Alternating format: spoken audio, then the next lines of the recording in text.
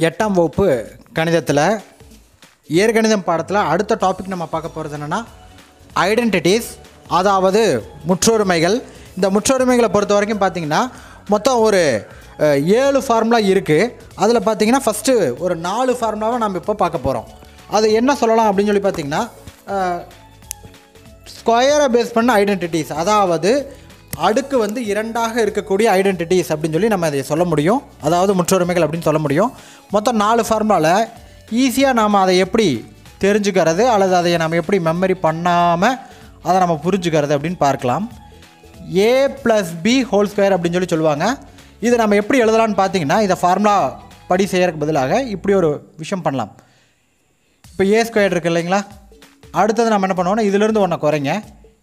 ஏ எல்லாமே ப்ளஸில் இருக்கிறங்காட்டி இப்படி போட்டுக்குங்க. மூணு தடவை வரப்போகுது. ஏ ஸ்கொயர் இருக்குது அடுத்து ஏ போட்டுக்குங்க. அடுத்தது பின்னாடி இருந்து பார்த்தீங்கன்னா பி ஸ்கொயர் போட்டுக்குங்க. அடுத்தது இங்கே பி போட்டுக்குங்க. ஓகேவா ரைட் ஏ ஸ்கொயர் அப்படின்னு ஆரம்பிச்சிருக்கோம். ஸ்கொயருக்காட்டி ஏ ஸ்கொயர் ஆரம்பிச்சிருக்கு. அடுத்து அதில் ஒன்று வந்து ஒன்றை குறைச்சோம்னா ஏ கிடைக்குது. அதே மாதிரி பி ஸ்கொயர் அப்படிங்கிறத பின்னாடி இருந்து எழுதுங்க. பி ஸ்கொயர்லேருந்து ஒன்று குறைச்சோம்னா ஒன்று குறைச்சோம்னா பி ஆகிடும் ஓகேவா இப்போ என்ன பண்ணலான்னா இந்த ஏவும் பியும் ஜாயின் ஆகிருக்கிற இடத்துல மட்டும் நீங்கள் என்ன பண்ணுங்கன்னா ஒரு டூங்கிற ஒரு நம்பரை நீங்கள் சேர்த்திக்கலாம். அவ்வளோதான் இதோட ஃபார்முலாவே முடிஞ்சுது. A square plus two AB plus B square அப்படிங்கிறத இதனுடைய ஃபார்முலா ஓகேவா அடுத்தது ரெண்டாவது ஃபார்முலா என்னென்னு பார்த்தீங்கன்னா அந்த ஸ்கொயரை பேஸ் பண்ண ஃபார்முலாவிலேயே A minus B whole square formula வரும். இப்போ இதை எப்படி வச்சுக்கிறது அப்படின்னு பார்த்தீங்கன்னா ப்ளஸ்ஸு மைனஸு ப்ளஸ்ஸு அதாவது இங்கே ப்ளஸ் இருக்குது இங்கே மைனஸ் போட்டுக்குங்க இங்கே ப்ளஸ் போட்டுக்குங்க. ஒரு மைனஸு ப்ளஸ்ஸு போட்டுக்கிட்டா கூட போதும். இப்போ வழக்கம் போலவே ஆரம்பிங்க. ஏ ஸ்கொயர் அப்படின்னு வைங்க. அடுத்தது இதிலிருந்து ஒரு ஏவை குறைச்சோம்னா ஒரு ஏ இங்கே இருக்கும். ரெண்டு ஏ இருக்குது ஒரு ஏவாயிடுச்சு இங்கே அடுத்து பி ஸ்கொயர் அப்படிங்கிறத பின்னாடி எழுதிக்கிங்க. அடுத்தது இதுலேருந்து ஒரு பியை குறைச்சோம்னா இங்கே எழுதிக்கலாம். பின்னு போட்டுக்கலாம். அடுத்து ஏவும் பியும் ஜாயின் இருக்கக்கூடிய இந்த பிளேஸில் நம்ம என்ன நம்பர் போடணும்னா ஸ்கொயர் காட்டி நீங்கள் டூ போட்டுக்கிட்டோம்னா இதனுடைய ஃபார்முலாவானது முடிஞ்சிடும் சரிங்களா? அடுத்தது மூணாவது ஃபார்மா வந்து என்னன்னு பார்த்தீங்கன்னா A plus B A minus B அப்படின்னு சொல்லி சொல்லுவாங்க. சரிங்களா? A plus B A minus பின்னு எழுதலாம். இப்போ நம்ம இதை எப்படி எழுதலாம் அப்படின்னு பார்த்தீங்கன்னா ஏ ஸ்கொயர் போட்டுக்குங்க. ஏவன் ஏவன் பெருக்குனா ஏ ஸ்கொயர் அப்படி வச்சுக்கலாம் ஞாபகத்தில் வச்சுக்கலாம் நம்ம அடுத்தது plus into minus minus B பியும் பெருக்கணும்னா பி ஸ்கொயர் இப்படி நீங்கள் இதையே ஞாபகத்தில் வச்சுக்கலாம். சரிங்களா? இது ஒரு ஷார்ட்கட் மெத்தடு மாதிரி தான் இதை வச்சுக்கணும். இதை வந்து நீங்கள் எல்லா இடத்துலையும் நீங்கள் யூஸ் பண்ண முடியாது. இது ஒரு ஷார்ட்கட் மெத்தேடு மட்டுமே. ஏவன் ஏவன் பெருக்கினா ஏ ஸ்கொயர் அடுத்து பிஎம் பிஎம் பெருக்கினா B square plus minus minus இப்படி நீங்கள் இதை ஷார்ட் ஃபார்மாக வச்சுக்கலாம். ஓகேவா அது ஃபோர்த் ஒன் பார்த்தீங்க அப்படின்னா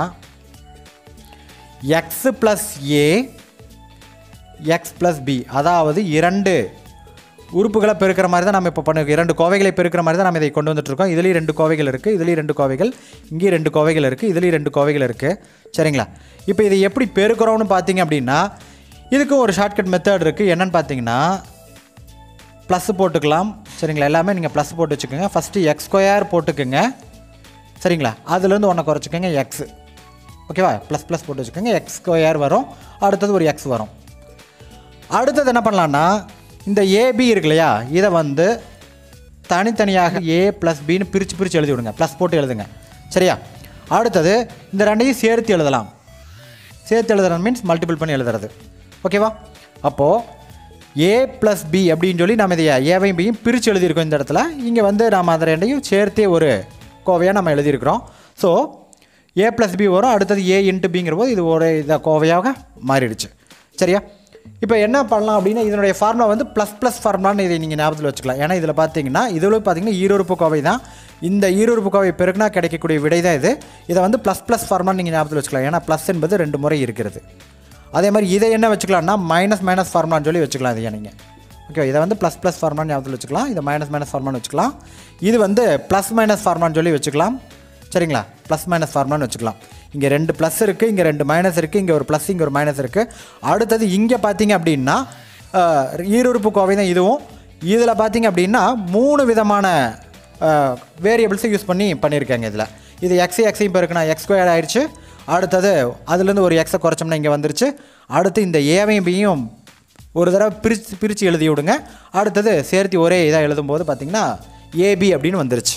ஓகேவா இப்போ இதை பேஸ் பண்ணி கணக்குக்குள்ளே எப்படி செய்கிறது அப்படின்னு பார்க்க போகிறோம் இப்போது நாம் அந்த முற்றொருமைகளை பயன்படுத்தி இதை நம்ம விரிவுபடுத்தணும் எக்ஸ்பேண்ட் பண்ணணும். எப்படி செய்கிறதுன்னு பார்க்கலாம். இது பார்த்தீங்கன்னா ப்ளஸ் ப்ளஸ் ஃபார்முலான்னு சொல்லலாம். ஏன்னா இங்கே ப்ளஸ் இருக்குல்லையா இது ஸ்கொயர் ஆகும்போது ரெண்டு தடவை ப்ளஸ் இருக்கிறதா நான் வச்சுக்கலாம். இப்போ இதனுடைய ஃபார்முலா என்ன அப்படின்னு பார்க்கும்போது A plus B whole square A plus B whole ஸ்கொயர்னு வரும். இதோட ஃபார்முலாவை நம்ம எப்படி ஞாபகத்தில் வச்சுருந்தோம்னா ஃபஸ்ட்டு ஏ ஸ்கொயர்லேருந்து ஆரம்பிப்போம். அடுத்தது ஒரு ஏவாக மாறும். சரிங்களா? மொத்தம் ஏ ஸ்கொயர் அடுத்தது ஏ அடுத்து பின்னாடி இருந்து பி ஸ்கொயர் எழுதிக்குவோம். இங்கே அதுலேருந்து ஒன்று குறைச்சா பி வரும். இங்கே வந்து ஒரு டூ போட்டு நம்ம இந்த ஃபார்மா இப்படி தான் நம்ம படிச்சிருந்தோம். அல்லது மெமரி பண்ணுறோம்னா A square plus two AB plus B square அப்படின்றத நம்ம தெரிஞ்சு வச்சுக்கலாம். இப்போ ஏங்கிற இடத்துல என்ன இருக்குதுன்னு பார்த்தீங்கன்னா த்ரீ எம் இருக்குது ஏங்கிற இடத்துல த்ரீ எம் இருக்குது பிங்கிற இடத்துல என்ன இருக்குன்னா ஃபைவ் இருக்குது ஸோ இப்போ இதை நம்ம எப்படி எக்ஸ்பெண்ட் பண்ண போகிறோன்னு பாருங்கள் three M plus five whole square இருக்கு இல்லையா? இங்கே அதே மாதிரி தான். நம்ம என்ன பண்ணுவோம்னா இங்கே ப்ளஸ் இருக்குங்காட்டி இது எல்லா இடத்துலையும் ப்ளஸ் போட்டு வச்சுக்கலாம். ரெண்டு இடத்துல ப்ளஸ் போட்டு வச்சுக்கலாம். இப்போ ஃபஸ்ட்டு இதை வந்து நம்ம ஸ்கொயர் பண்ணணும். Three M the whole square அடுத்து இதுலேருந்து ஒன்று குறைச்சோம்னா வெறும் த்ரீ எம் மட்டும் இருக்கும். சரிங்களா? இங்கே ரெண்டு த்ரீ எம் இருக்கிறதாக அர்த்தம். மல்டிபிள் பண்ணிவிட்டு இங்கே ஒரு த்ரீ எம் கிடைக்கும். அடுத்தது இங்கேருந்து ஆரம்பிக்கும் போது ரெண்டாவது உறுப்பு ஃபைவ் ஸ்கொயர்னு வச்சுக்கோங்க. அடுத்தது இங்கே ஒரு ஃபைவ் மட்டும் போட்டுக்கலாம். சரியா? அடுத்தது வழக்கம் போல் இந்த ஏவும் பியும் ஜாயின் ஆகிற இந்த இடத்துல ஒரு டூவை நம்ம போடுவோம். சரியா? இப்போது த்ரீ எம் ஸ்கொயர்னால் இந்த ஸ்கொயர் வந்து த்ரீக்கும் இருக்குது எம்முக்கும் இருக்குது ஸோ த்ரீயை ஸ்கொயர் பண்ணால் நயன் எம்மை ஸ்கொயர் பண்ணால் எம் ஸ்கொயர் சரியா? த்ரீயை ஸ்கொயர் பண்ணால் நயன் ஆகிடும் எம்மை ஸ்கொயர் பண்ணால் எம் ஸ்கொயர் அப்படி ஆகிடும் ப்ளஸ் இங்கே மூணு நம்பர்ஸ் இருக்குது மூணுமே மல்டிபிள் இருக்குது அதாவது பெருக்கணும் இப்போது five two sir ten ten three sir thirty முப்பது எம் அப்படின்னு வரும். ப்ளஸ் ஃபைவ் ஸ்கொயர் பண்ண அப்படின்னா என்ன வரும்னா ஃபைவ் இன்ட்டு ஃபைவ் அதாவது அஞ்சு பெருக்கல் அஞ்சு இருபத்தி அஞ்சு. சரியா? அப்போது three M plus five whole square என்ன வருதுன்னா nine M square plus thirty M plus twenty five அடுத்தது செகண்ட் கொஸ்டின் என்னென்னு பார்த்தீங்கன்னா five B minus one the whole square அப்படின்னு சொல்லியிருக்கு. இப்போ இதை எப்படி செய்யலாம் அப்படின்னு பார்த்தீங்கன்னா இங்கே வந்து மைனஸ் மைனஸ் அதாவது ரெண்டு தடவை மைனஸ் இருக்கிறதாக அர்த்தம். ஸோ இதனுடைய ஃபார்முலா என்ன அப்படின்னு பார்க்கும்போது A minus B the whole square அப்படி வரும். அதாவது A minus B whole square formula எப்படி எழுதுவோம் அப்படின்னா ஒரு மைனஸ் ஒன்று போட்டு வச்சுக்கோங்க ஒரு ப்ளஸ் ஒன்று போட்டு வச்சுக்கோங்க இங்கே. இப்போ ஏ ஸ்கொயர் ஆரம்பிங்க. அடுத்தது இதுலேருந்து ஒன்று குறைச்சோம்னா ஏ அடுத்தது பின்னாடி பி ஸ்கொயர் அப்படிங்கிறத ஆரம்பிங்க. அடுத்தது இங்கே பி இந்த ரெண்டு ஜாயின் ஆகிற இடத்துல ஒரு டூ போட்டு வச்சுக்கலாம். சரிங்களா? இப்போ இது வந்து பார்த்திங்கன்னா ஸ்கொயர் வச்சதுக்கும் க்யூப் வச்சதுக்கும் தான் இந்த ஃபார்முலா நீங்கள் யூஸ் பண்ண முடியும். பவரில் ஃபோர் இருந்ததுன்னா இந்த மாதிரி மெத்தடில் நீங்கள் போட முடியாது. சரிங்களா? அது வந்து உங்களுக்கு வரவும் வராது. ஆனால் பவரில் ஃபோர் இருந்தால் இந்த மெத்தட்லலாம் நீங்கள் போட முடியாது. ஓகே ஸ்கொயர் இருந்தாலும் சரி க்யூப் இருந்தாலும் நம்ம யூஸ் பண்ண முடியும். ரைட் இப்போ ஏங்கிற இடத்துல என்ன இருக்குன்னு பார்த்தீங்கன்னா ஃபைவ் பி அப்படின்றது இருக்கா? ஏங்கிற இடத்துல என்ன இருக்குன்னா ஃபைவ் பி அப்படின்றது இருக்குது அடுத்து பிங்கிற இடத்துல என்ன இருக்குன்னு பார்த்தீங்கன்னா ஒன்று இருக்குது சரிங்களா? இது ஏ இங்கே நேராக இருக்கிற பிங்கிற இடத்துல ஒன்று இருக்குது இப்போ இதை எப்படி செய்யலாம் அப்படின்னு பார்த்து பார்க்கும்போது five B minus one the whole square போட்டுட்டு ஒரு மைனஸ் ஒன்று போட்டுக்குவோம் ஒரு ப்ளஸ் ஒன்று போட்டுக்குவோம். ஃபஸ்ட்டு ஃபைவ் பிக்கு ஸ்கொயர் கொடுப்போமா? அடுத்து இதுலேருந்து ஒன்று குறைச்சோம்னா ஃபைவ் பி அதாவது ஃபைவ் பி ஸ்கொயர் வந்து ரெண்டு இருக்குது இங்கே ஒரு ஃபைவ் பி இருக்குது அடுத்தது. பின்னாடி இருந்து எழுதும்போது இங்கே ஒன் ஸ்கொயர் எழுதுவோம். பிங்கிற இடத்துல ஒன்று இருக்குது ஸோ ஒன் ஸ்கொயர் அப்படின்றது எழுதியிருக்கேன். அடுத்தது பி ஸ்கொயர் எழுதி முடிச்சதுக்கப்புறம் ஒரு பி எழுதணும். அதாவது ஒரு ஒன் இதிலேருந்து ஒன் ஸ்கொயர் இருக்குன்னா ரெண்டு ஒன் இருக்கிறத அர்த்தம். இங்கே ஒரு ஒன்று ஆகிடும் அடுத்து இந்த ரெண்டும் ஜாயின் ஆகிற இடத்துல அதாவது சேர்ந்துருக்கிற இடத்துல நம்ம என்ன பண்ணுவோம்னா ஒரு டூ போடுவோம். சரி. இப்போ ஃபையும் ஸ்கொயர் பண்ணும் பியும் ஸ்கொயர் பண்ணும். ஃபையை ஸ்கொயர் பண்ண என்ன வரும்னா five five sir twenty five BA square பண்ணால் பி ஸ்கொயர் சரியா? அடுத்தது இங்கே மூணு நம்பர்கள் இருக்கும். மூணு நம்பரை மல்டிபிள் பண்ணுவோம். Five two sir ten ten into one ten ஐ ரெண்டு பத்து. பத்தொன்று பத்து வரும். டென் பி அப்படின்னு வந்திருக்கு. ப்ளஸ் ஒன்னை ஸ்கொயர் பண்ண என்ன வரும்னா ஒன் தான் வரும். So five B minus one the whole square equal to twenty five B square minus ten B plus one இந்த மூணாவது கணக்கு பார்த்தீங்க அப்படின்னா இதில் மூணு விதமான வேரியபிள்ஸை நம்ம யூஸ் பண்ணியிருப்போம் ஒன்று வந்து இங்கே இருக்குது சரிங்களா? இது ஒன்று இருக்குது அடுத்தது ரெண்டாவது டேர்ம் அடுத்து மூணாவது டேர்ம் மூணு விதமான டேர்ம்ஸ் இதுக்குள்ளே நம்ம இருக்குது இங்கே டூ என் அப்படிங்கிறது காமனாக இருக்குது அது ஒரு டேர்ம் ஆயிடுச்சு இங்கே ஒரு ஒன் இருக்குது அது ஒரு டேர்ம் ஒரு த்ரீ இருக்குது ஸோ இது ஒரு டேர்ம் அப்போ மொத்தம் மூணு விதமான டேர்ம்ஸ் வரும்போது நாம் யூஸ் பண்ண வேண்டிய ஃபார்முலா என்னென்னா X plus A X plus B அப்படிங்கிறது தான் ஸோ இதோட ஃபார்முலா என்னென்னு பார்த்தீங்கன்னா ப்ளஸ் ப்ளஸ் போட்டுக்கலாம். எக்ஸை எக்ஸை மல்டிபிள் பண்ணும்போது எக்ஸ் ஸ்கொயர் வச்சுக்கோங்க. அடுத்தது இதிலேருந்து ஒரு எக்ஸை குறைச்சிக்குவோம். வழக்கம் போலதை அடுத்து இங்கே என்ன பண்ணுவோம்னா ஏவையும் பியவும் ப்ளஸ் சிம்பிள் போட்டு நம்ம சேர்த்துவோம். சரியா? அடுத்தது ஏவையும் பியும் மல்டிபிள் பண்ணி அதாவது இங்கே ஒரு சிங்கிள் சிங்கிள் டேர்ம்ஸாகவும் இது டூ டூ டேர்ம்ஸாகவும் நம்ம எழுதணும். ஸோ ஏபி அப்படிங்கிற ஒரு டூ டேர்ம்ஸை மல்டிபிள் பண்ணி நம்ம எழுதியிருக்கோம் இங்கே. சரியா? இப்போ இந்த ஃபார்முலாவில் தான் நம்ம இந்த கணக்கை நம்ம போட போகிறோம் எப்படி செய்கிறோம் அப்படின்னு பார்த்தீங்கன்னா இங்கே ப்ளஸ் இருக்குது இங்கே ஆனால் மைனஸ் இருக்குது அப்படின்னு பார்க்கும்போது என்ன பண்ணலான்னு பார்த்தீங்கன்னா டூ என் ப்ளஸ் போட்டுட்டு இந்த மைனஸை வந்து உள்ளே கொஞ்சம் நகர்த்தி விட்டோம்னா மைனஸ் ஒன்னாக மாறிடும். அப்போ two N plus minus one அடுத்தது இங்கே வந்து ஒன்றும் பிரச்சனை இல்லை. டூ என் ப்ளஸ் த்ரீ அப்படிங்கிறது கரெக்டாக இருக்குது இங்கே எக்ஸுங்கிற இடத்துல காமன் டேர்ம்ஸ் தான் எக்ஸுங்கிற இடத்துல யூஸ் பண்ணுவோம். டூ என் வரும். அடுத்து ஏங்கிற இடத்துல என்ன இருக்குன்னு பார்த்தீங்கன்னா மைனஸ் ஒன்னாக இருக்குது சரிங்களா? பிங்கிற இடத்துல என்ன கிடச்சிருக்கு அப்படின்னு பார்த்தீங்கன்னா ப்ளஸ் த்ரீ கிடச்சிருக்கு. இப்போ இதை பயன்படுத்தி தான் நம்ம அந்த ஃபார்முலாக்குள்ளே சப்ஸ்டியூஷன் பண்ணி போட போகிறோம் ஃபஸ்ட்டு எக்ஸ் ஸ்கொயர்னு இருக்குது so two N the whole square போட்டுக்கலாம். ப்ளஸ் இப்போ இந்த ஏவையும் பியும் நம்ம ஆட் பண்ணணும். ஆட் பண்ணி ஒரு ஓரமாக வச்சிட்டோம்னா அதை அப்படியே இங்கே சப்ஸ்டியூஷன் பண்ணிக்கலாம். ஏவையும் பியும் இங்கே ஆட் பண்ண என்ன வருதுன்னு பார்ப்போம். ஏ ப்ளஸ் பி அப்படின்னு இருக்கு இல்லையா மைனஸ் ஒன் ப்ளஸ் த்ரீ இப்போ இதை ரெண்டையும் ஆட் பண்ண என்ன வரும்னா வேறு வேறு சிம்பிளாக இருக்குங்காட்டி கழிச்சோம்னா ரெண்டு. பெரிய நம்பர் குறி போட்டால் ப்ளஸ் ரெண்டு. அடுத்தது ஏவையும் பி மல்டிபிள் பண்ணி வச்சுக்குவோம். அதாவது மைனஸ் ஒன் இன்ட்டு த்ரீ என்ன வரும்னா மைனஸ் மூணு வரும். சரி இந்த ரெண்டையும் வச்சிட்டோம்னா இதை அப்படியே சப்ஸ்டியூட் பண்ணிக்கலாம். அப்போ ஏ ப்ளஸ் பி அப்படிங்கிற இடத்துல என்ன போட்டுக்கலாம் அப்படின்னா டூ ப்ளஸ் டூ போட்டுக்கலாம்.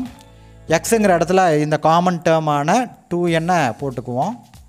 ப்ளஸ் ஏ இன்ட்டு பி இங்கே மல்டிபிள் பண்ணி வச்சுருக்குறோம். என்ன வருது அப்படின்னு பார்த்தீங்கன்னா மைனஸ் த்ரீ வருது. ஓகேவா இந்த மாதிரி சைடில் செஞ்சு வச்சிட்டோம்னா ஒரு ரெண்டு ஸ்டெப்பில் முடிச்சிடலாம். இப்போ டூவை ஸ்கொயர் பண்ணோம்னா ஃபோர் என்னை ஸ்கொயர் பண்ணோம்னா N square plus two two sir four four N plus into minus minus three ஓகேவா அப்போது ரெண்டே ஸ்டெப்பில் இதை முடிச்சிட்டோம். அதுக்கு காரணம் வந்து இந்த ஏ ப்ளஸ் பியும் ஏ இன்ட்டு பியும் நம்ம தனியாக செஞ்சு வச்சது தான் இப்படி செஞ்சு வச்சிட்டோம்னா டூ டூ த்ரீ ஸ்டெப்பில் இந்த சம்மம் நம்மளால் முடிக்க முடியும். ஓகேவா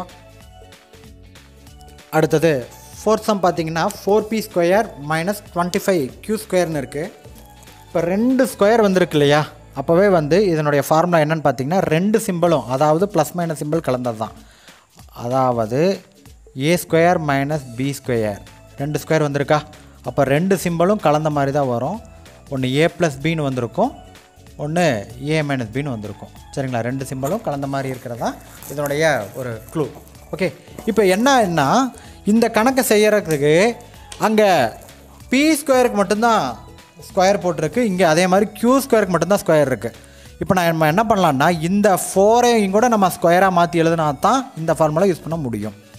ஃபோரை வந்து நம்ம டூ ஸ்கொயர் அப்படின்னு நம்ம எழுதலாம். அடுத்தது பி ஸ்கொயர்னு எழுதிக்கலாம். இந்த இடத்துல ஃபோர் ஸ்கொயர் பி ஸ்கொயர் எழுதியிருக்கேன் மைனஸ் டுவெண்ட்டி ஃபைவும் ஸ்கொயர் பண்ணி எழுத முடியும்.